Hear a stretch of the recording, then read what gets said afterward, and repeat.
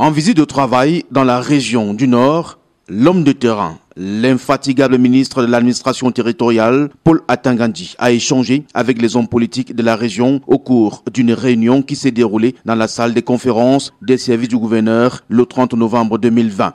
Dans quelques jours, nous allons assister à des élections historiques. Il s'agit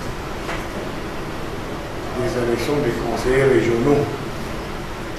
Et ces élections ont pour avantage de parachever la mise en place des institutions prévues dans la Constitution. Et puis c'est des élections qui vont renforcer ou accélérer le processus de la décentralisation. Et ce processus est cher au chef de l'État, son Excellence Paul Biya. En cette veille des élections régionales du 6 décembre prochain, Paul Atangandi a recommandé aux hommes politiques d'être en synergie avec les populations en souhaitant voir une élection ouverte qui donnera la chance à tout le monde. Je souhaite que les hommes politiques fassent preuve de beaucoup de maturité. Je souhaite que les chefs traditionnels fassent preuve de beaucoup de compréhension parce que il y a beaucoup d'ambition pour peu de postes. C'est ça la réalité. Déjà au niveau régional, vous avez déjà sept. Ensuite, il y a des commissions.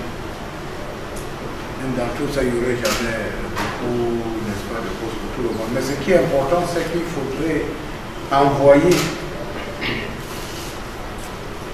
à cette élection les gens qui vont valablement représenter les intérêts du peuple, femmes et hommes. Et quand je dis les hommes, hein, les femmes qui ne vous êtes pas que c'est au, au, sens large du terme, c'est-à-dire les hommes et les femmes qui pourront nous aider tous à faire de cette élection, à relever le défi des élections.